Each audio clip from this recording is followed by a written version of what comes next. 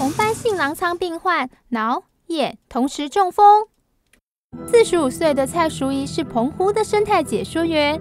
两个月前，在家中突然左侧手脚瘫痪，双眼视力模糊，而且意识不清，紧急搭机到台北就医，发现他患有红斑性狼疮而不自知，导致他全身血管长期发炎，不但脑中风，还同时眼中风。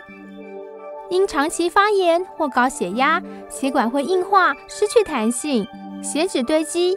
再加上天气冷，会让血管收缩，容易造成血管阻塞或爆裂出血，使得视网膜坏死，影像讯息无法传达到脑部，就称为眼中风。蔡淑仪接受特殊治疗，刺激血管新生。一个月后，他不但已能看大字体的书，也能看电视，还可在医院内走动。明天冷气团又要来袭，医师提醒：天冷要小心中风。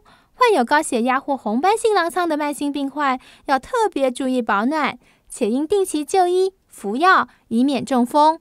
邓新闻台北报道。